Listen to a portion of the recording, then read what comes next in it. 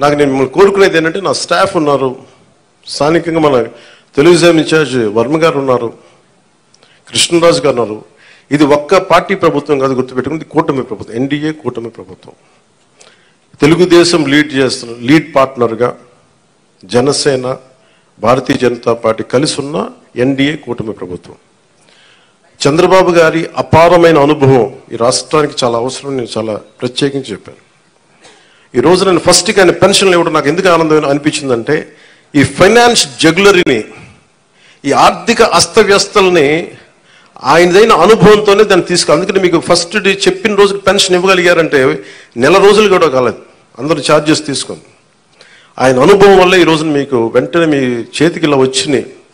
అది కూడా ఆయన మాట చెప్పారు. మూడు నెలలు ఆ ప్రభుత్వంది మీకు ఇస్తాం.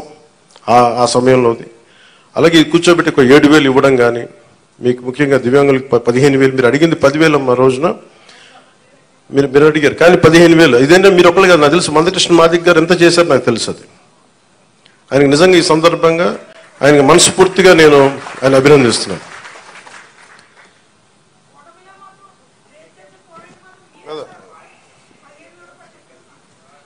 ఇది అందరం కలిపి చేసేదమ్మా.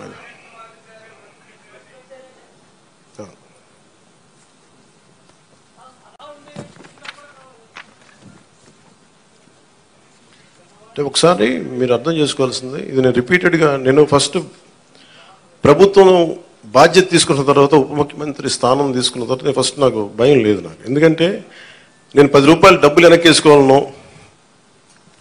లేదంటే నాకు కొత్త పేరు రావాలనో నాకు నిజంగా లేదు. నాకు ప్రజల్లో చాలా సుస్థిరమైన స్థానం ఇచ్చారు. నేను ఒక నటుడిగా పూర్తి స్థాయిలో ఉన్నప్పుడు నాకు డబ్బు డబ్బు కొదలేదు నాకు రాజకీయాలకి డబ్బుకి సంబంధం లేదు నాకు. సో డబ్బులతో నాకు రాజకీయాలు ముడిపడి అందువల్ల నేను చేసేటప్పుడు మీకు మొత్తం సాయశక్తిలో పెట్టేస్తాను మీకు. మీరు చెప్పిన ప్రతి సమస్యకి పెడతాను. కాకపోతే డబ్బు అందరికీ ఏముంటుందంటే రాగానే ప్రభుత్వం రాగానే అన్ని సమస్యలు చిటికలు అయిపోతాయి. అవో కానీ చిటికలు అయ్యే వరకు పనిచేస్తాం. దీనికి ఇప్పుడు మీరు చెప్పారు మీరు మోహన్ రావు గారు మీరు మీరు కా- గోవిందరావు గారు. ఇవన్నీ మేము మర్చిపోను అలాగే వినండి వినండి నా మాట. మా పాయింట్ అర్థమైంది కదా? వినండి. ఇదేంటంటే మీకు వినే ప్రభుత్వం చెప్పడానికి నేను ప్రభుత్వ ప్రతినిధిగా చెప్తున్నాను. మీరు ఎప్పుడైనా సరే మీరు మమ్మల్ని నిలదీయండి అని నేను అడిగినప్పుడు మీరు ఓటేశారో లేదో నేను కూడా అడగట్లా. ఇందాక చాలా నా పెద్దలు వేదిక పైన మాట్లాడుతూ ఒకటే చెప్పారు. ఈ పార్టీ కాకపోతే మేము పెన్షన్లు తీసేస్తున్నారు. కృష్ణరాజు గారు చెప్తా ఉన్నాం. వాళ్ళ పార్టీ మెంబర్లు అయితేనే మేము ఇస్తాం. నేను మీకు మాటిస్తున్నాను గత ప్రభుత్వంలో కాదు మీరు ఏ పార్టీకి సంబంధించిన వారైనా కనీసం మీకు ఇవ్వటం అది మా కనీస ధర్మం ఈ ప్రభుత్వ బాధ్యత. పిఠాపురంలో తీసుకొచ్చి మీకు అలాంటి సమస్య ఏదైనా ఉంది అంటే మీరు ఓటు వేయకపోయినా కానీ అర్హత ఉన్న వారికి అది మీకు ఇంటికి వచ్చి తీరుతుంది.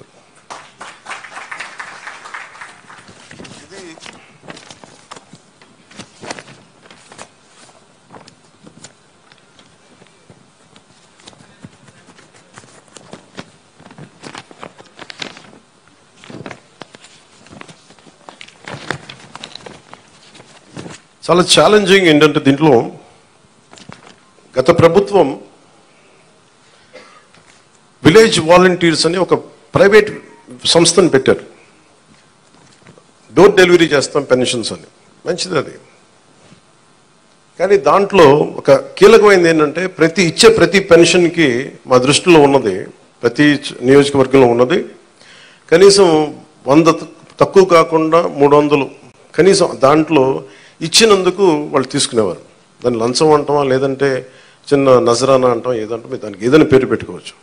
అలా కాకుండా చంద్రబాబు గారి ఆదినాయకత్వంలో ఉన్న ఈ కూటమి ప్రభుత్వం తెలుగుదేశం లీడ్ పార్ట్నర్గా ఉన్న ఈ కూటమి ప్రభుత్వం జనసేన వెన్నుదన్నుగా నిలబడ్డ ఈ కూటమి ప్రభుత్వం భారతీయ జనతా పార్టీ ఆశీస్సులు కేంద్ర నాయకుల ఆశీస్సులతో నిలబడ్డ ఈ ప్రభుత్వం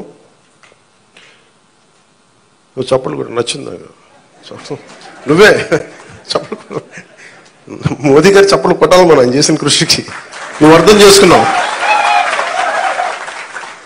ఒక్కటే మోగింది కానీ మొత్తం అందరు మోగింది నీ వల్ల. అంటే ఇది వాలంటీర్స్ లేకపోతే పెన్షన్లు ఆగిపోతాయి వాలంటీర్స్ లేకపోతే పెన్షన్లు ఆగిపోతాయని భయపెట్టేశారు అందరూ. మీరు చెప్పండి ఎక్కడ ఆగినాయి? ఎక్కడ ఆగలేదు. అంటే ఆగకపోగా రెట్టింతలు వచ్చి మీకు ఇంటికి వచ్చింది అంటే సెక్రటరీ అంటే నేను ఇన్ని ఒకటే అడిగాను మన పంచాయతీ రాజ్లో అంటే మనకి ఒక పిఠాపురంలోనే ఆరు వందల షణ్మన సిక్స్ ట్వంటీ సెక్రటేరియట్స్ కదా మనకు ఉందండి జిల్లా మొత్తం మీద. జిల్లా మొత్తం మీద సిక్స్ ట్వంటీ సెక్రటేరియట్స్ ఆరు వందల సచివాలయాలు. వీళ్ళందరూ ప్రభుత్వ ఉద్యోగులు. దాదాపు ఆరు వేల మంది పైచిలుక అధికారులు మనం టోటల్గా ప్రభుత్వ ఉద్యోగుల్ని మీ ఇంటికి వచ్చి మీకు డబ్బులు ఇస్తా ఉన్నారు. వాలంటీర్స్ లేకపోతే ఎక్కడ ఆగింది చెప్పండి ఈ రోజున పెన్షన్స్? ఆగో. కానీ వాలంటీర్స్కి ఆల్టర్నేట్ ఎంప్లాయ్మెంట్ ఎలా ఇవ్వాలి? అది మేము ఆలోచిస్తాం. అలాగే ఆరు వందల ఇరవై సెక్రటేరియట్స్ మొత్తం మన కాకినాడ జిల్లా మొత్తం మీద. పిఠాపురంలో నూట ఇరవై సెక్రటేరియట్స్. ఒక్కొక్క సెక్రటేరియట్కి యాభై ఒక పది మంది చొప్పున ఒక్కొక్క సెక్రటేరియట్కి. అలాగే ఒక పిఠాపురం దాదాపు వెయ్యి మంది పైచిలుకు ప్రభుత్వ ఉద్యోగులు ఇంకా అదనంగా అవసరమైతే వాళ్ళతో కూర్చొని గతంలో మూడు రోజులు నాలుగు రోజులు ఇచ్చాడు అలా కాకుండా ఈ రోజు పొద్దున ఆరు గంటలకు మొదలు పెడితే ఈరోజు రాత్రికి దాదాపు నూటికి నూరు శాతం అయిపోవాలి. ఒకవేళ ఒకటో రెండు ఎవరైనా లేకపో లేక ఇళ్ళలో లేకపోయినా ఇంకో పరిస్థితుల్లో ఉండకపోయినా రేపు అయిపోతుంది మ్యాక్సిమం రేపు మొద్దున మధ్యాహ్నంలోపు అయిపోవాలి. ఇది టార్గెట్ పెట్టుకున్నాం. దాని దిశగా వెళ్తున్నాం. అందుకని పొద్దున్న ఆరు గంటలకి ఈరోజు ప్రారంభం అయిపోయింది దాదాపు నేను వచ్చే టైంకి ట్వంటీ ఫైవ్ పర్సెంట్ అయిపోయింది ఇక్కడ.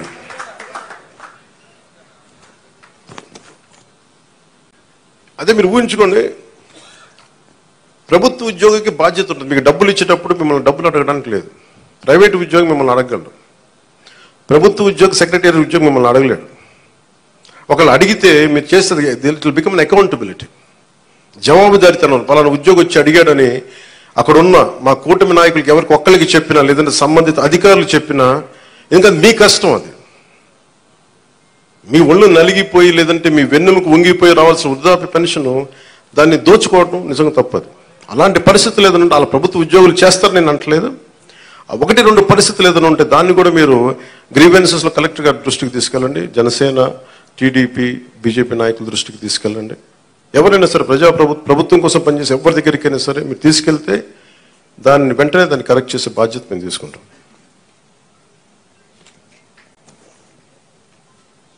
ప్రతి ఎంప్లాయ్ దగ్గర ఈ రోజున ఈరోజు పొద్దున్న నుంచి కనీసం లక్ష రూపాయలు ఉంటుంది ఒక కాకినాడ జిల్లాలోనే ఆరు వేల మంది దగ్గర లక్ష రూపాయలు ఉంటుంది లక్ష రూపాయలు క్యాష్ డిస్ట్రిబ్యూట్ చేస్తారు.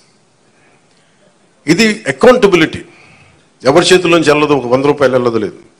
మీ ప్రతి రూపాయి మీకు మాట ఇచ్చాం మీకు ఇంటికి వచ్చి తలుపు తట్టి మరి ఇస్తారు. లేదంటే నేను వచ్చి నాలాంటి వాడు వచ్చి మీ దగ్గరికి వచ్చేస్తాను ఒక ఎమ్మెల్యే కానీ చెప్తాను ఎవరు లేనప్పుడు. అసలు మేమేం మన చంద్రబాబు గారు కూడా ఒక మాట ఏం ఏం మాట్లాడుకున్నామంటే అసలు పె- అధికారుల వ్యవస్థని నిర్వీర్యం చేసేసారు ఈ ప్రభుత్వం. ప్రభుత్వ ఉద్యోగుల్ని వ్యవస్థల్ని నిర్వీర్యం చేసేసింది. మేము వ్యవస్థల్ని మళ్ళీ బలోపేతం చేయాలనుకుంటున్నాం. ఆ వ్యవస్థల్ని బలోపేతం చేసే భాగంలోనే వారికి బాధ్యత బాధ్యత ఇచ్చాం. వారు ఈ రోజున మీకు ఇంటింటికి వచ్చి తిరుగుతూ ఉన్నారు. అలాగే ఐపీఎస్ కానీ ఐఏఎస్ కానీ రెవెన్యూ కానీ మీరు మనం చూసారు సివిల్ సప్లైస్. సివిల్ సప్లైస్ మన జనసేన పార్టీ నుంచి వచ్చిన మనకి మంత్రి శ్రీ నాదెండ్ల మనోహర్ గారు ఎన్ని వేల టన్నులు పట్టుకున్నారో మీకు తెలుసు. ప్రభుత్వానికి చెందాల్సిన భూ అది మన ప్రజలకు చెందాల్సిన రైస్ అది. ఎక్- మీరు- మేము మాట్లాడుతున్నప్పుడు అందరూ ఆ రోజు ఎంతమంది నమ్మారు ఖచ్చితంగా కానీ ఈరోజు మేము వాస్తవంగా చూపిస్తున్నాం. మీరు మా మీద పెట్టుకున్న నమ్మకాన్ని మేము చూపిస్తున్నాం. గోడౌన్లో ఎంత రైస్ ఉందో చూడండి ఎవరి డబ్బు అది? ఎవరి డబ్బు అది? ఇప్పుడు మీరు అడుగుతా ఉన్నారు మో మీరు గోవిందరావు గారు. మన డబ్బు అది? మీకు అర్థమవుతుందా? మీరు ఎవరు వ్యక్తులు నాకు అనవసరం నాకు. అది అంటే మన మీకు డబ్బు సంపద పెరిగితే మనం డబ్బులు ఇవ్వగలం. సంపద లేకుండా కూర్చోబెట్టి ఇండివిజువల్స్ రిచ్ అయిపోతున్నారు ఇక్కడ. వ్యవస్థల్ని చంపేస్తున్నారు వ్యక్తులు పెరుగుతూ ఉన్నారు. వ్యవస్థలు పెరిగి డబ్బు ఉంటే తప్ప మీరన్నగా నలభై కాదు లక్ష మందిలో డబ్బు ఇవ్వగలం. మేము దానికోసం పనిచేస్తున్నాం కొంత మీరు పెద్ద మనసుతోటి మాకు మీ ఆశీర్వాదం కావాలి? పని చేయడానికి సిద్ధంగా ఉంది. మనస్ఫూర్తిగా చెప్తున్నాను దాటేయడానికి చెప్పట్లా. కానీ ఇంత అడ్డగోలుగా అవినీతి ఉందండి. ఇంత అడ్డగోలు అవినీతి ఉంది. ఒక్కొక్క చోట వెరైటీస్ మైండ్స్ లేవు.